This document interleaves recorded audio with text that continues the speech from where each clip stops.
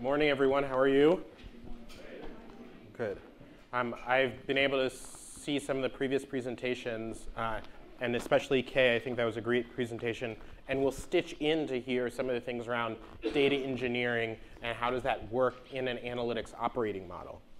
So before I talk about that, like why should you listen to me? You can choose not to. There's still people standing outside. Um, but so I've been in the analytics space for about 15 years now, um, but not just in analytics, analytics within sustainability. So I'm a climate change warrior. I think presidential candidate Jay Inslee has it right. This is the biggest problem facing our generation. Um, and so I could certainly be working at Facebook or Eat24 or DeliverXNow.com. Um, but I, this is a huge problem. Uh, and I think it's one that it's really important that we try to get right. And so that's why I've been working in the space for the last uh, 15 years. Um, one of the things that sustainability and environmentalism has suffered from is it's the right thing to do. It's the idealistic thing to do. Um, but making data-driven decisions helps you prove, oh, this is the financially prudent thing to do. Oh, this reduces risk. This can help make sure that uh, your insurance premiums are lower, or you have longer retention of employees, or you have better relations with your stakeholders. And can you put a dollar value on that? And so within sustainability, that's a key part and has really made this shift.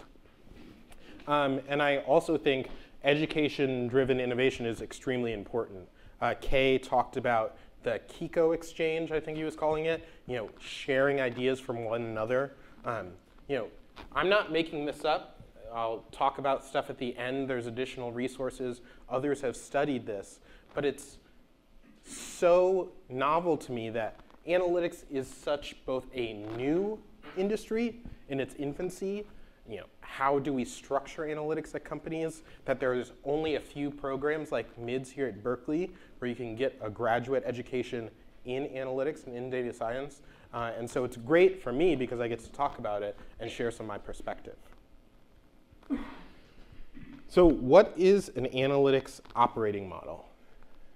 Um, most executives are not analytically literate. They're not data scientists, they're not analysts. They're literate in communication, investor relations, and finance, most of the time. They're not literate in analytics. And so when you talk to companies about being data driven, you really have to break that down. Okay, yes, it's a nice goal. Who's going to say they don't want to be data driven? Um, but how do you actually achieve that result? Because everyone wants the result, not everyone wants the process to get there. So I'm going to break it down into four key parts, and you'll see I'll break down each of those four parts into their own parts. Um, the first is information architecture. This is the technologies, tools, software, applications, databases, et cetera, that your analytics depends on. And we recently heard about data engineering. It is so critical. You know, no one wants to be that person on the floor with the screwdriver, but unless you do that, like it's, nothing is going to get done. Um, then there's organizational structure. Oftentimes, uh, especially after Harvard Business Review named data scientist the sexiest job title in the 21st century, I'm not sure Harvard is like the person to go to on sexy, but you know, they did it anyways. Um, they said, oh, we'll just hire data scientists. Let me just hire a bunch of them. They're coming out of MIDS. They have this PhD program. Like, oh, you have 10 years of experience with TensorFlow, even though TensorFlow has only been around for four years. I'll hire you. Great. Um, so, but like, how do, what do you do with those people? Where do they sit? You know, how does their supervisor check their work if their supervisor doesn't know Python? Or like, what's the correlation coefficient? Oh, it's 95% accurate. You know what that means? You just made up the data. Like, so how do you create an organizational structure that supports and enables data scientists? Um, the personnel, which I briefly talked on a little bit, what are the skills that you need and how those skills work together? And then the culture. Um, we talked about GitHub and version control, but also a culture of learning, a, a culture of being able to fail, uh, a culture of helping one another. So the right operating model is going to be include all four of these elements, but it's going to be different for each organization, depending on your size, depending on your current level of analytical maturity, depending on how data-driven do you want to be, um, and a whole bunch of other things. So breaking down those four elements, again, information architecture is the foundation, and it's so important. Uh, you don't have to live in earthquake country to know that your foundation for your house is important. You can't build something on top of something where there's no foundation. So I'm going to briefly talk about that. Organizational structure. I have an org chart here. It's not about who you report to. It's not about, oh, do you have a chief data officer?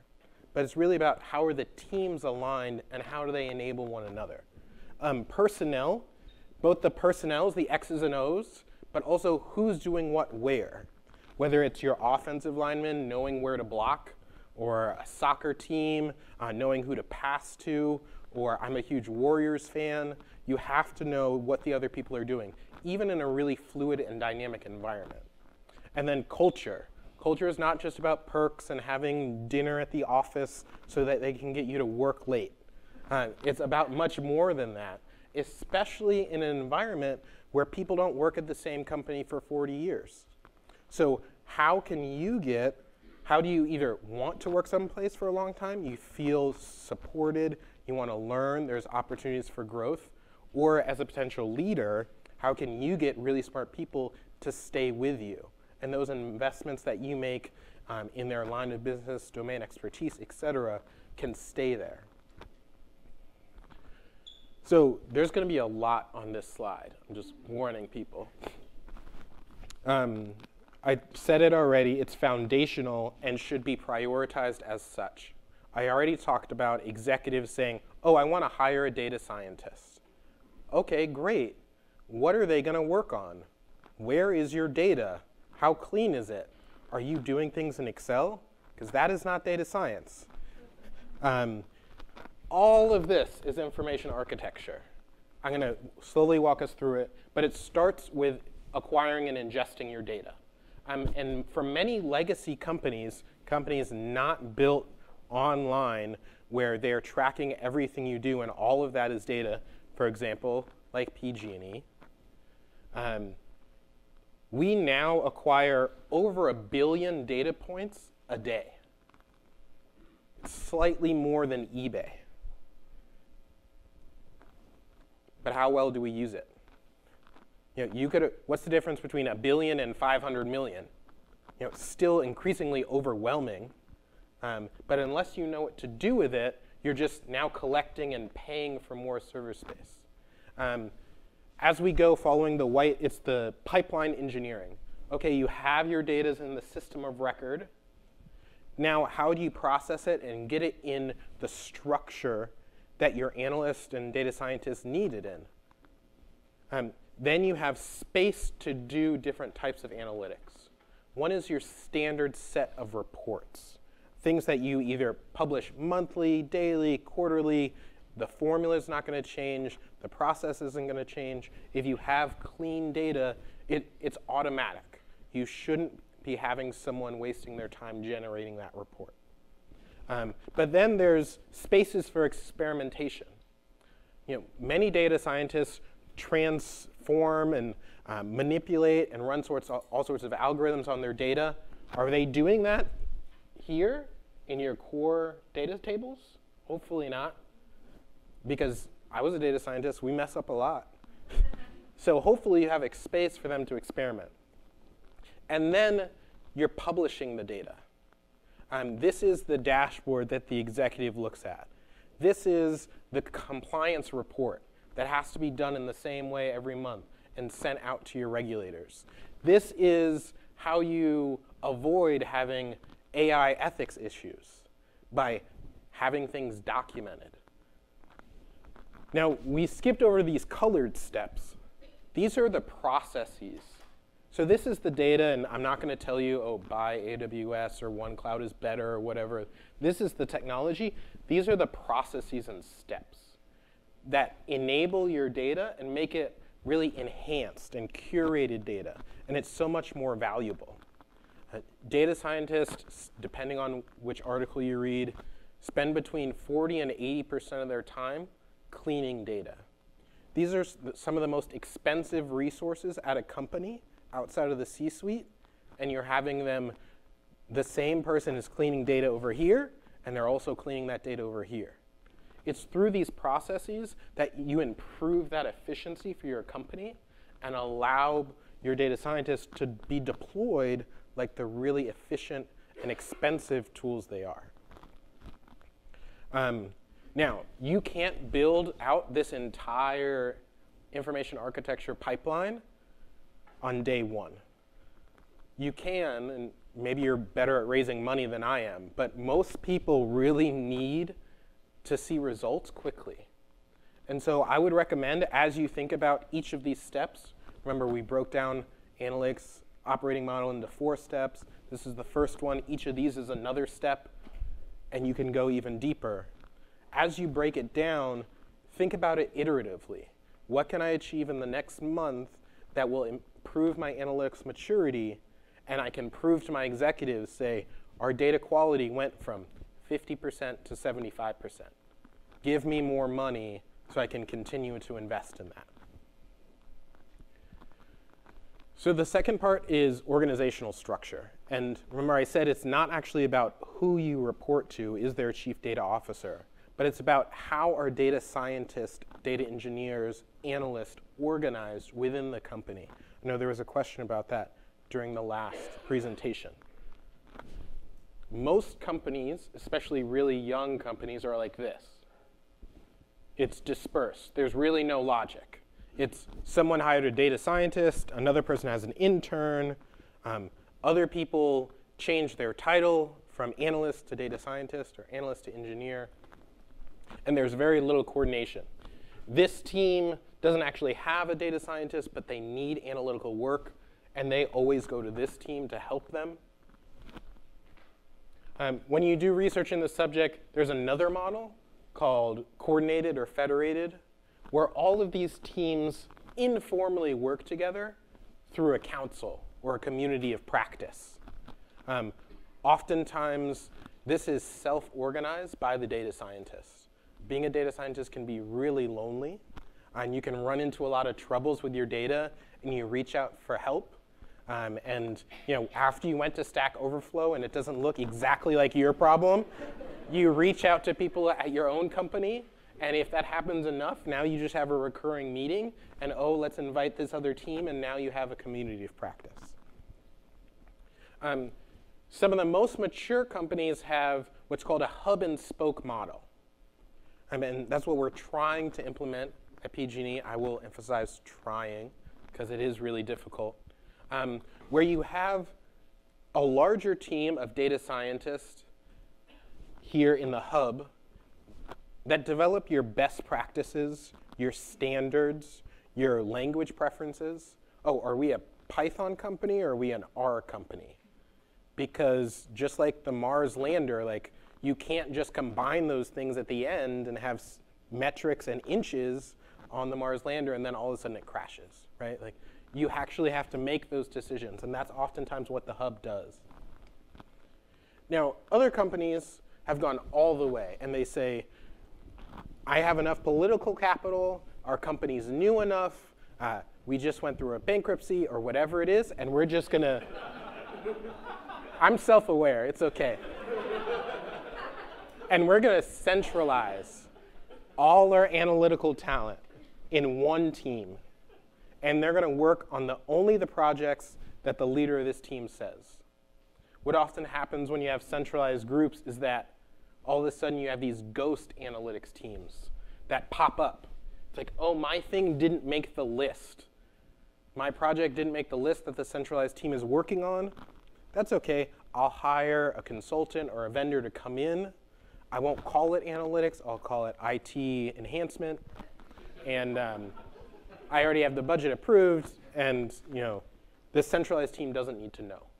And then all of a sudden, Six months later, the contract expired from the vendor. Now you have this thing that's like 85% done, and you need someone, maybe you promise someone on the centralized team, hey, there's a promotion for you if you come work on this on, for me.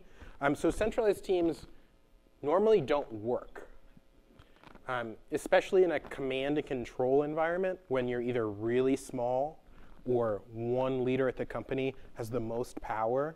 They try to do centralized. Um, and again, it's not about the placement, but it's about how the teams work together. Um, and let's take the data engineering and data science, or analytics and IT, other companies split it down the line there. Um, what I've seen work really well is what I call the bicycle model. You actually have two hub and spokes. You have an analytics hub and spoke, and then you have an IT hub and spoke.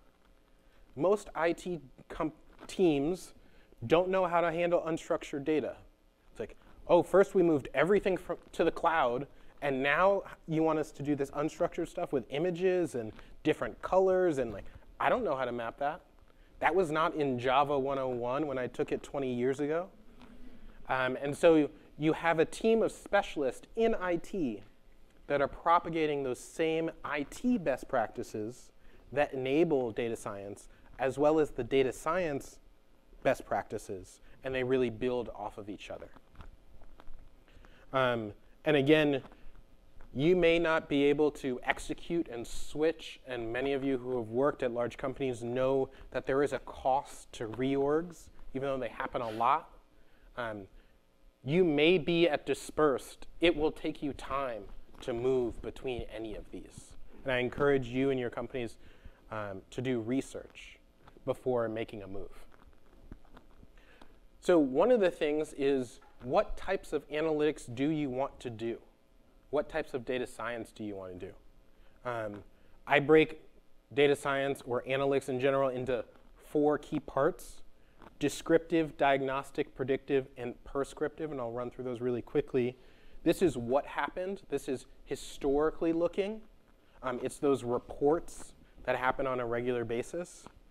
Then there's why it happened. Oh, so you have this dashboard that the executives look at every month, and the trend line now is going in the wrong direction. Well, you have to do diagnostic analytics to figure out why it happened. Then it's predictive. Well, the trend line hasn't decreased yet, but we know we're not ready for the Black Friday sales or whatever it is. How do we prepare ourselves? That's predictive. What is going to happen? And then prescriptive. It suggests actions that you should take based on your vision of the future. Now, artificial intelligence is not on this. And I know people love to call themselves AI specialists now. Uh, another job title I heard was uh, I'm a data artist instead of data visualization. it's like, if you want to be a data artist, fine. Um, artificial intelligence is a technique that you apply to one of these types of analytics. You can have artificial intelligence that generates a report that's descriptive. The AI script will look at the data that you look up the most, and oh, every, the first Monday of every month, you run this report. Okay, AI can figure that out and generate a report. But it can also do something prescriptive analytics. AI is a technique, not a destination. And that's one of the key things that I think, uh, especially as lots of companies pick, pick up this language, those distinctions get really blurred. And especially in a space this new, we have to be really precise with our language. Okay, so the third part is personnel. Um, who's seen a children's soccer game before? Okay. Um, so one of the things, before I get to the children's soccer game, is analytics is a team sport. We talked about someone just hiring a data scientist. You just hire a really smart person out of MIDS and they'll figure it out, right? Or, oh, let's get a team of four people. They'll figure it out um, without knowing how the people will interact.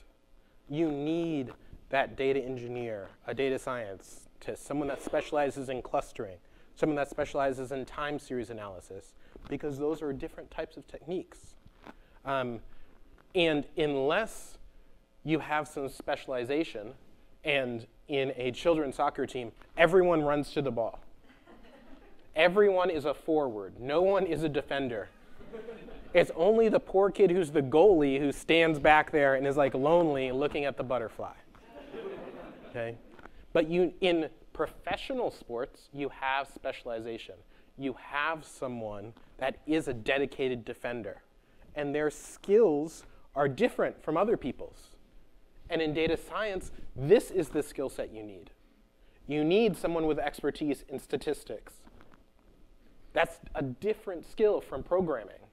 You can have both skills, but they are different. Data engineering is a different skill from visualization. And unless your hiring managers understand these skill sets, they're hiring the person with the best resume. And you have to put together a team that complements each other. You can have someone who is an expert in visualization and doesn't know how to program if you set up your team where the other people have programming expertise. The Warriors are a great example, built around Steph Curry. You have to have a big man with Steph Curry. You can't have five shooting guards all on the outside. You would score a lot of points, but you would also have a horrible defense. Um, and so you have to build your team both with specialization, but also planning and coordination between all of the parts. And then above all is practice, practice, practice. All sports require practice. And if you think about analytics as a team sport, you can't just hire a bunch of people, give them a big problem with a tight deadline, and expect that they deliver on time and that it's perfect. Um, you're going to have to practice and you're going to have to fail. And that brings us to the last part here, which is culture. Um, and culture is set from leadership from the top down, it's set from the bottom up, it's also set from middle out, if people are fans of Silicon Valley. Um, so these are some of the things that are critical to enabling a culture that embraces and promotes analytics and data-driven decision making. Well, admit when you don't know. And it's so critical that people don't feel, oh, if I say I don't know to my boss, it's going to come up in my annual review. Well, what is worse? Saying you don't know now, having time to figure it out, and then getting to the right answer? Or guessing, likely being wrong, and then you spend all of that time that was waste. So if you think about, take a step back, and saying you don't know is a good thing. It allows you to find that specialist in that domain and get their perspective. Um, now, this becomes more important when you're making decisions versus like building apps, and there are different you know, goals for analytics. But when you're making a decision based on analysis, oftentimes there are a lot of assumptions. Those assumptions normally don't make it through the PowerPoint that the CEO sees. They might just see like one number and one color. And they're like, okay, yes, good decision. If they have questions, now it has to go all the way back down the chain, and it's two weeks later, and the moment's lost. So you have to have an analyst in the room. Um, I'm not going to go through all of these. Uh, this one is really important to me. Um, we, in the Valley, there's lots of talk about failing fast and being iterative and agile, and we're going to pivot and all of this stuff. The end goal is not to fail. You don't want to, you want to fail so that you can learn. The end goal is actually learning so you don't make the same mistake again. So be comfortable with failure. You actually want to, maybe you intentionally fail. Be like, oh, there's a 2% chance that this thing will work. And the upside is so huge, we actually have to pursue it but fail with purpose and know how you're going to transmit those learnings across the company. Because, okay, now you're failing and the other team next to you, they're failing, but you're actually failing on the same thing without coordinating, and now you've just failed redundantly. Um, and then this one becomes so important. It's document like your life depended on it. Um, our team says document as if you inherit the project after you had amnesia. It's like, and that includes inline documentation in your code, like what does this section do, so that your data engineers and your data scientists don't have to spend all day talking to each other. They definitely should talk, um, but they don't have to spend all day. And then you also have to document like what was the problem statement that kicked this whole thing off. Um, what are some of the assumptions? So documentation is really important. Um, I've learned a lot over the past 10 years working in this space, but here are some really great resources. I'll make sure the presentation is available for you to follow up and learn more about this space. Um, the Booz Allen Hamilton's Field Guide to Data Science, if you haven't read it, it should probably be required reading for some class here at MIDS. Um, it's really great, and it really helps you understand how are executives thinking about data science. And so it's chock full of great interview questions for you to ask them, um, for the students in the room. And then here are some benchmarks for the different ways analytics maturity um, and the analytics organizations are structured at some of the leading companies. So Visa went centralized, but they have a bunch of small centralized teams. Um, you could call that centralized or you could call it coordinated, whatever you want to do, um, but they call it centralized. Google, who's pretty well known for analytics and having lots of data, they do a hub and spoke model. And then Under Armour, who own MapMyFitness, they also do a hub and spoke model as well. And once one of the spokes becomes large enough and expertise enough, they actually spin it out and it creates its own hub. Um, so these are some resources for people to look at, and that's it. Thank you very much.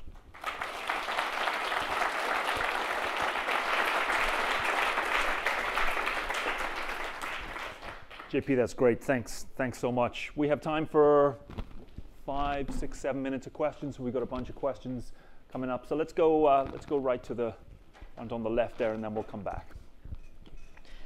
Love the talk. Uh, lots of great things pulled together, but I want to pull out one particular thing. On your first slide, you said you believe in data-driven decisions. Yes. How do you make a data-driven decision? So the first thing is that you have the information infrastructure to support the decision. You have the data there.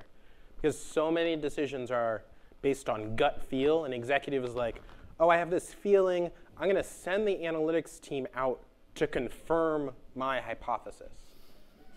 And instantly, they're already like targeting a certain answer. Um, one key thing is having people follow the data where it leads, not where you want it to lead. Um, and being able to push back to an executive who has a hypothesis. That is one key thing. Um, you really need to let the data speak for itself. And if you don't believe the data, it doesn't mean that your data is not clean, because the data could be wrong. The data is true, but your interpretation of it might be wrong. And so you have to, it takes a certain amount of maturity to have that back and forth with a decision maker about what does making a data-driven decision mean. Okay, we had a hand up right at the back there. Thank you.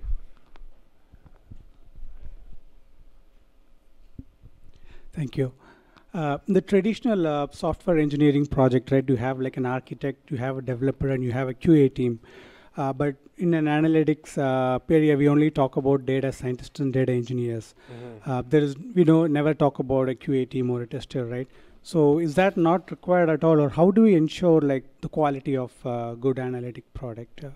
Yeah, that's a great question. On um, my slide, I did have something called a technical project manager. And whether you're implementing an agile framework or a waterfall approach, QA should be part of your process.